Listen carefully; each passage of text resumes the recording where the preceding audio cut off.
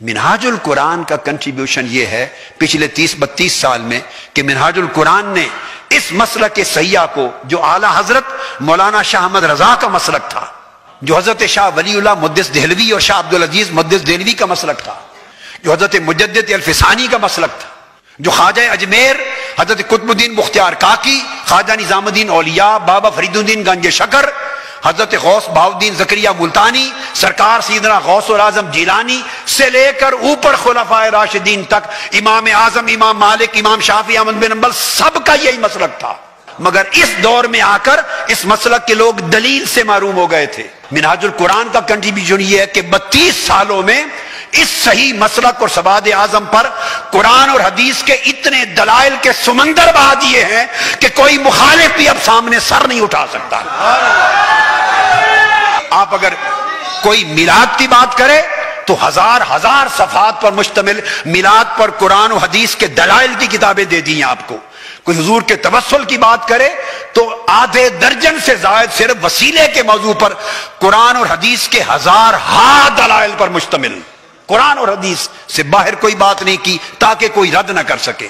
जो बात की कुरान से की, जो बात की सही बुखारी से की जो बात की सही मुस्लिम से की, अबू दाऊद से की, तिरमजी से सियासिता से, दलाइल से की, जरो तादील के साथ की, इसनाद के साथ की, फिर आइमा तफसीर से बात की, यानी छोटे दर्जे के हवाले, बोलिए, छोटे दर्जे के हवाले कि जिन पर को उंगली रख सके।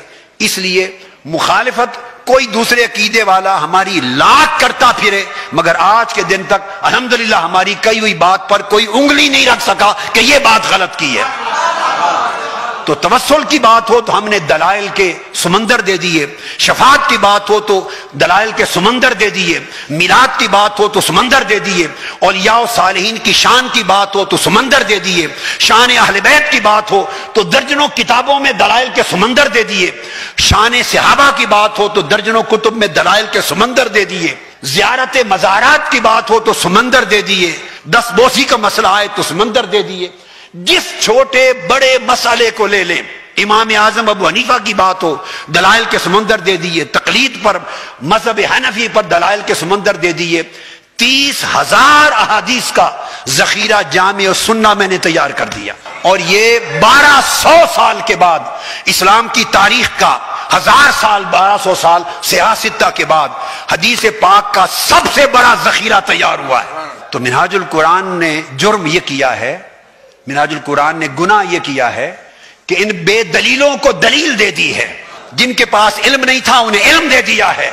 और आपके एतमाद को इतना पुख्ता कर दिया है, आपके कॉन्फिडेंस को इतना मज़बूत कर दिया है कि अब कोई शख्स आपके सामने सर उठा के बात नहीं कर सकता। कोई एक एतराज़ का जुमला बोले, आप जट मेरी दस केस के खिताबात की उसके हाथ में दे देंगे।